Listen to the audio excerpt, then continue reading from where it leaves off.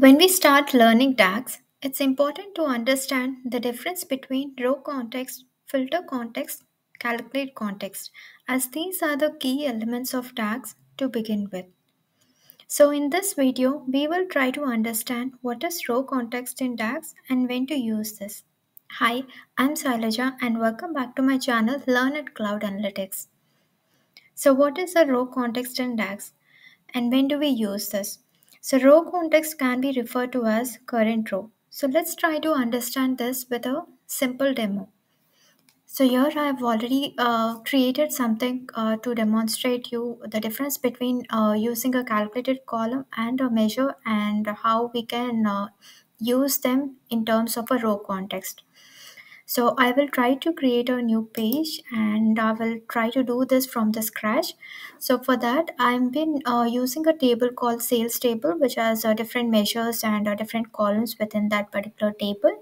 Now, in order to understand the row context, I will quickly go to my uh, uh, data view where I can look at this particular table and understand what are the different columns I do have in, within this particular table.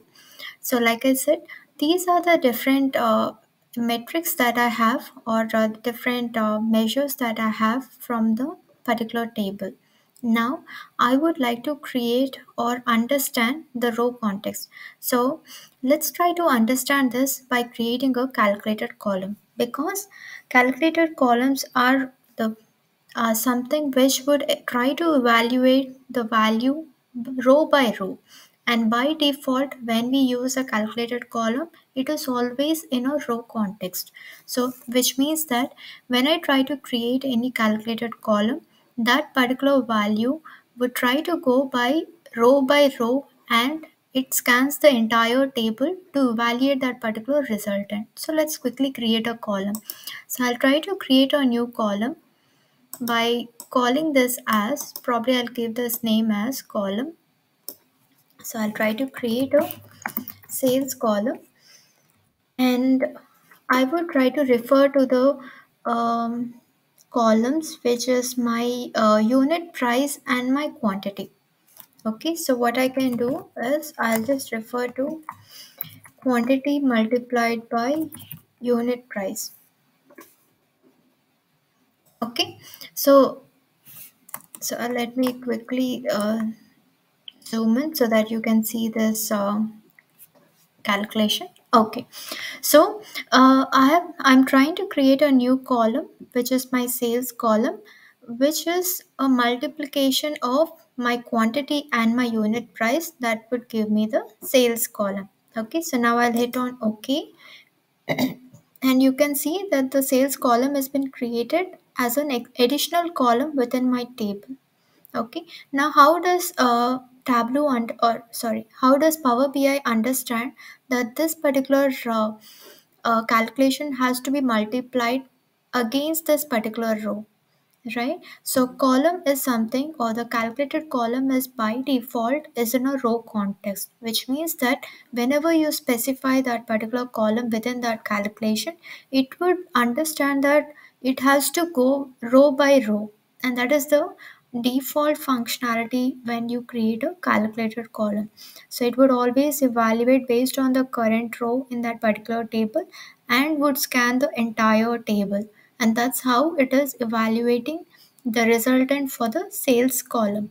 By looking at what is the value for this particular current row so the unit price is this multiplied by the quantity and that's how it's evaluating the resultant against to that particular row and similarly it would scan the entire table and populate the relevant uh, resultant of that particular calculation. Fine. So now let's try to see why only a calculated column is essential when we try to look at a row context and why not we can use a measure in this particular situation. So let's try to create the same uh, calculation by using a calculated measure. So i'll go back to my table i'll create a new measure and i've already copied that particular logic and i try to create a measure with the same calculation. Now if you notice I am I'm using the same logic in this uh, measure as well but you see there is an error uh, being popped up. So it says that it cannot find the name based on this particular uh, value. So it says cannot find name order quantity. And the reason behind this is measures are calculated at the report level. So they are not evaluating individually row by row and it cannot understand uh, when we say, okay, uh, please go and try to uh, get the resultant of these two uh, columns multiplied together at a row level. So it doesn't understand in that way. So measure cannot uh, uh, interpret that it has to evaluate the entire table row by row and give that resultant similar to that of a calculation column. So therefore, we would need to explicitly specify how it should be evaluated. So the default uh, evaluation would always be at the report level. So therefore, uh, if we uh, convert this particular uh, so in order to um, avoid this particular error message what we can do is we can just add a aggregation on top of this uh, column and that would uh, avoid in populating that particular error message. So see the error has been uh, vanished by the moment I have used this aggregation which is sum uh, against my two columns on my order quantity and also on my unit price. So now it did not throw any error as such as seen in the previous uh, scenario. But this is something which we are not expecting to uh, arrive at right? Because if you notice um, so probably let me go back to my report view. Now let me uh, try to pull uh, probably I'll use a product name here. And um, let me expand it and I'll go to my sales table and bring in my sales uh, measure. Okay so the one that I've created right now. And also we'll try to add this uh, column. So what I'll try to do is I'll just bring this column first and then the other one. And also let's try to increase the font size of this value so that it is readable. Okay so I hope it is readable and um, yeah let's also increase the headers so that it is visible all right, so we have these uh, two columns being added up on the report level. Now, if you notice here, uh, we have a different values shown up for the sales column and uh, different values for the sales measure. The reason behind is the way how this uh, DAX function is being evaluated. So the measures are not been evaluated row by row. So like I've shown in the table, right? So the measure is not calculating. Individually this order quantity and the uh, unit price. Rather it is trying to get a overall total uh, sum of that order quantity multiplied by the total sum of the unit price and then it is giving the resultant value. Because when we say okay uh, we'd like to multiply just the uh, sales order quantity by the unit price the measure will never understand uh, which value it has to multiply this. Like uh, is it the row 1 or the row 10 or how it should be multiplied? And therefore uh, in order to introduce this row context we would need to have a different option. Okay. So now let's try to fix this particular uh, uh, measure calculation in order to introduce the row context in this particular logic. Okay so in order to introduce that let me try to um, keep this in a different line and I'll try to remove this parenthesis. Okay. Okay. So now uh, what we are expecting is we need to have this row context introduced to evaluate this particular expression at every row. For every row, it has to go and pick that corresponding order quantity and do a multiplication against that row unit price value. And that's how the resultant should be populated in my view. So therefore, in order to do that, we have to introduce the iterators. So the iterators are something which would uh, scan the entire table and based on which it would evaluate the given expression. So in this particular scenario, we would like to use an iterator function called sumx. Okay, so I'm using the sumx. For now, So for this particular calculation, we would need to specify the parameter, which is my table. So I have to specify on which table this uh, expression has to be evaluated. So the table name is my sales table, followed by the expression, which is my order quantity multiplied by unit price. Okay, so now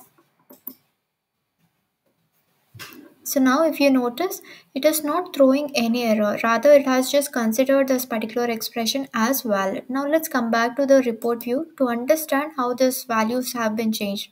So see, the moment we have introduced the iterator within that particular logic to evaluate that value or to evaluate that expression based on a row context, the values have been fixed and it is now similar to that of my sales column value right? So in this way we are able to uh, introduce the row context and i hope you understood what is meant by a row context in dax functions within power bi so in order so let me quickly give a recap of uh, about this row context.